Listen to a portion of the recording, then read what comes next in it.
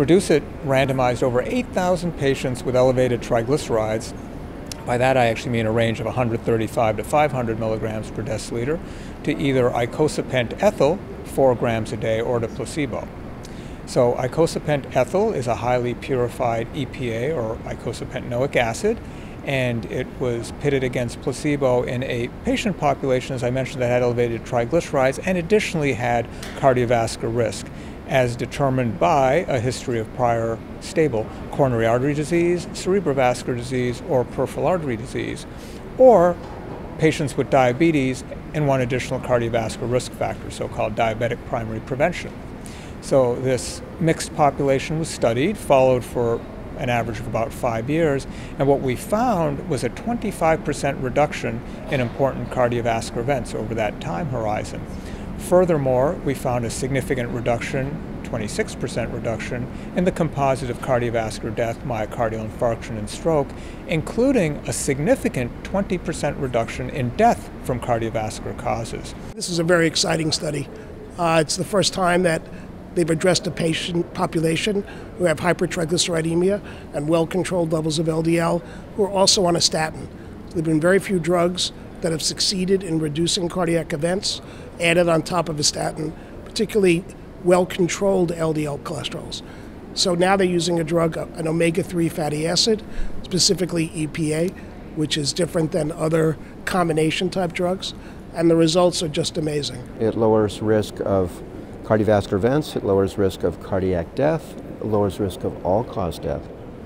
It has a very small signal of a slight increased risk of atrial fibrillation and bleeding. That's overwhelmed by the benefit. If you treat about 30 patients with this compound, two grams twice a day, uh, you will prevent either an MI, death, or stroke. That's an amazing statistic. So, big trial, good follow up, very positive. REDUCE-IT, I mean, it was epic results, but as a clinician, I want to know which one of my patients should I consider putting on the EPA or the purified EPA based on this trial. And there were, looks like there were five main groups that got the most bang for the buck. The first was those that had triglycerides over 150, those that were younger age, so those who were under 65, those who were secondary prevention. So the group that already had cardiovascular disease uh, compared to the people that had uh, diabetes and risk factors. They, so the cardiovascular disease did better. Those that were not taking ezetimibe, and finally those that were on moderate or high intensity statin already. So when I think about the REDUCE-IT trial, when I'm in my clinic next week, I'm going to be looking for my patients that have cardiovascular disease and those other characteristics as potential candidates for the uh, purified EPA. So, this is for the patient of which there's a huge variety. Very telling, the BMI in this group was 30.8. So, we're talking chunky individuals, right? And these were, a lot of them were diabetic.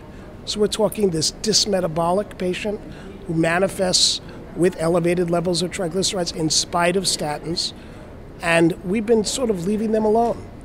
And there have been other studies that have been done uh, using fish oil, a lot of them using low dose fish oil, as well as using fibrates. And they've shown no beneficial results. So I think that the buzzwords here are the right patient on the right drug in the right dose. The question is, you know, how, uh, how is this fish oil, uh, the purified EPA, doing this? And there are three possibilities that were presented in the paper.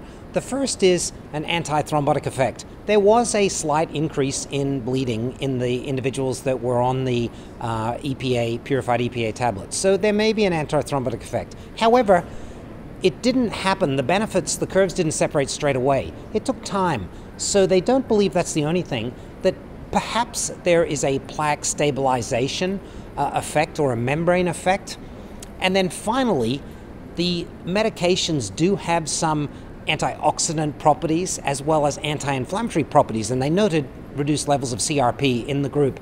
So I think it's probably a multifactorial effect.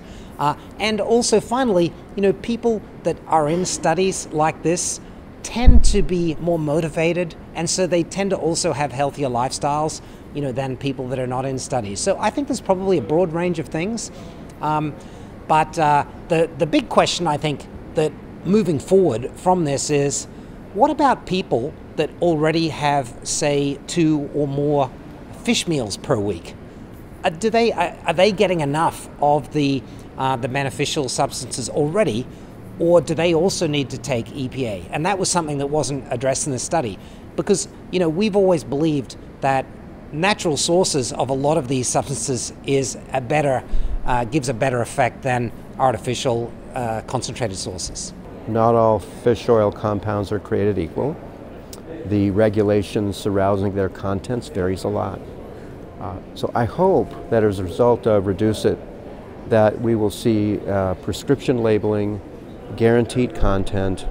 You know, this is a this is a fairly high dose. This is two grams twice a day of EPA. That's twice as much as uh, most of us have been using.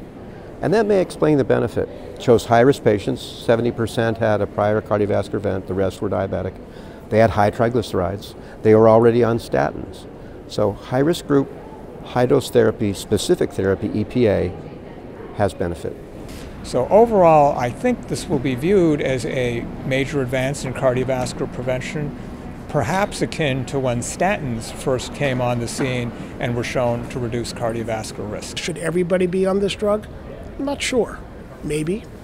But certainly the patient population I just described, I can't see why you wouldn't want to do it.